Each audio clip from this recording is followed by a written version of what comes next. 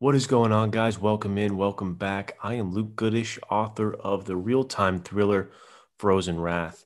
And today, as of filming this, is September 30th, 2022, which means Frozen Wrath is officially released worldwide in paperback and ebook format. I can't thank you guys enough for the support so far. The book made it all the way to number 27 in bestsellers for new releases in men's adventure fiction that's just mind blowing. It is my sincerest hope that everyone who has read the novel has enjoyed it.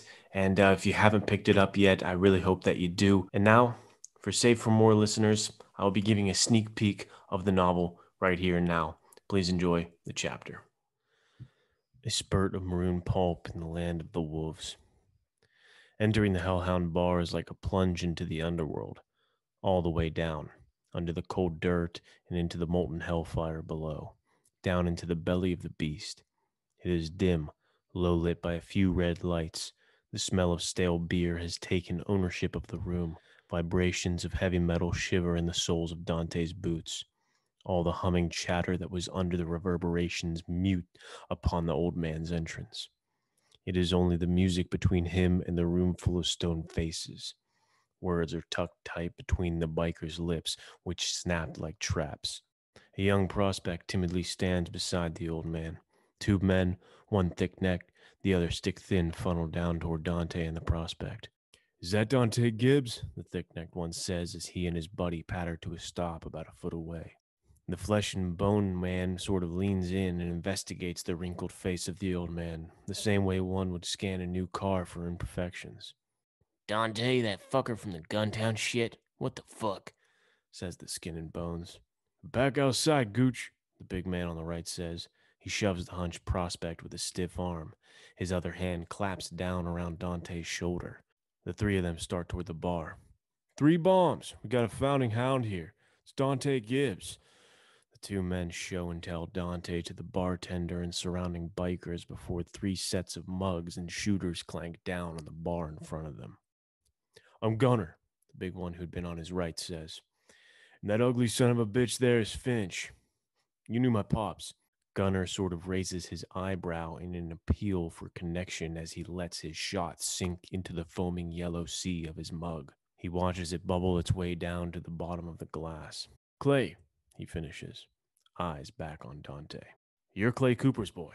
Dante's head lifts from the startle of time. His eyes widened in astonishment of how fast the sand slipped through the hourglass. Just a blink before, and it was Clay there with the same youthful face next to him in this hollow corpse of a bar.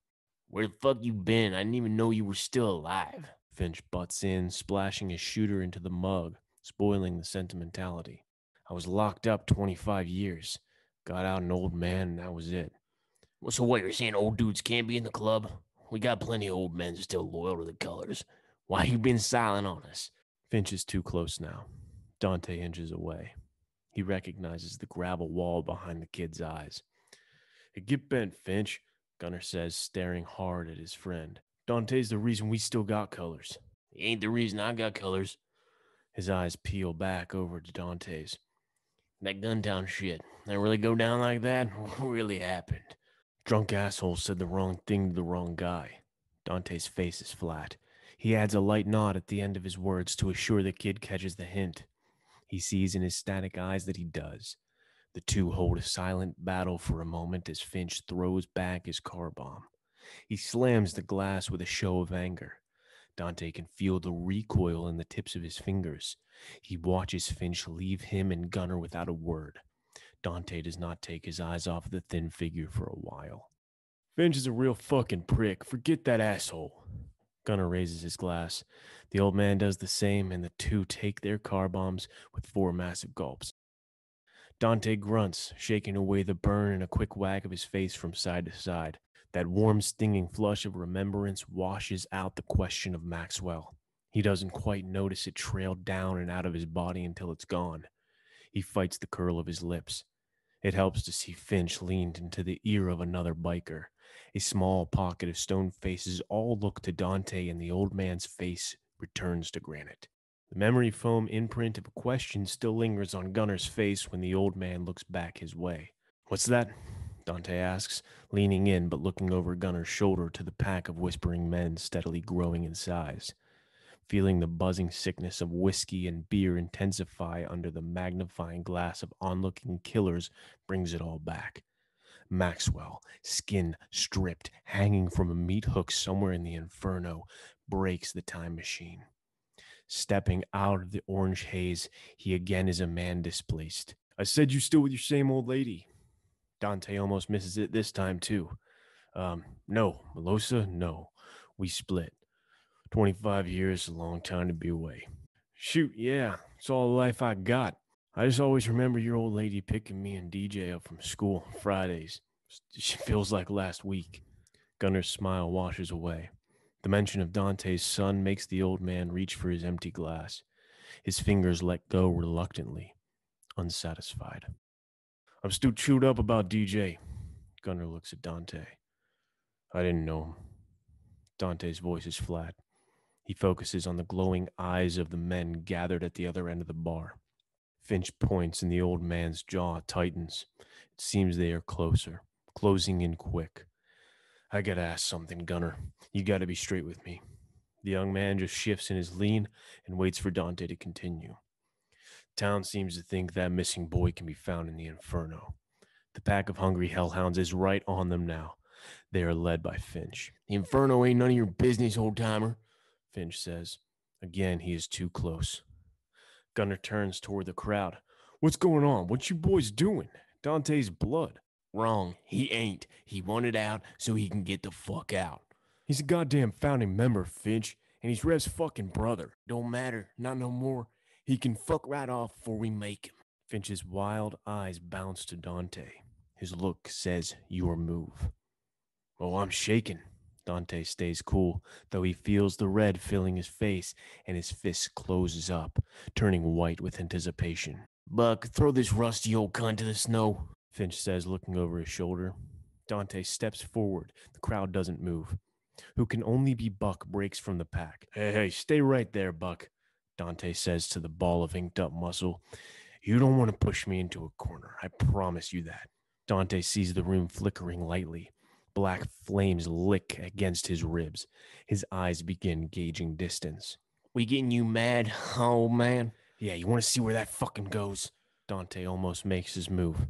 Not yet. Oh, you're real tough. I know you got no guns in this bar, figuring that means you got no balls either. Well, we do have guns in the truck outside. Show 'em, Buck. Buck steps forward with a grunt. The telegraph in the overly muscled man's movements saves Dante's life. The old man doesn't realize the riot inside of him broke loose, not until the pinch of glass wiggling into his palm brings him back.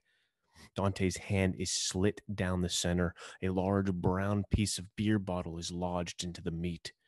That's when he notices Buck pumping blood into the cedar floorboards. Slivers of that same glass jut from Buck's temple and jaw. He gargles on pained confusion as the glass snuffs the life from him. The war is on. Time undulates its speed. Below, the vibrating floor becomes water. His blood becomes ice. Dante feels a lump of Finch's trachea filling his palm. It presses that piece of bottle left over from his work on Buck deeper into his tendons. He hooks his leg behind the thin man and slams him to the ground. From the eruption of chaos comes another heavy biker. He tackles Dante. The old man's ribs crash against the bar top. Feeling the large weight shift off balance, Dante slithers. Both hands grip the back of the big man's bald head. Two strikes against the thick wooden bar, and he feels the splitting start. The man's skull snaps apart with the crunch of a frozen lake. Three men are pulling at Dante and beating what they can with their brass coated knuckles. Dante turns with a high guard. Strikes come like a lightning storm over his body. Numbing zaps singe the feeling from his fingers. Brass knuckles bust against Dante's elbows and turn the tendons in his forearms to braided steel. As he dips to the side, one man goes down with a counter elbow.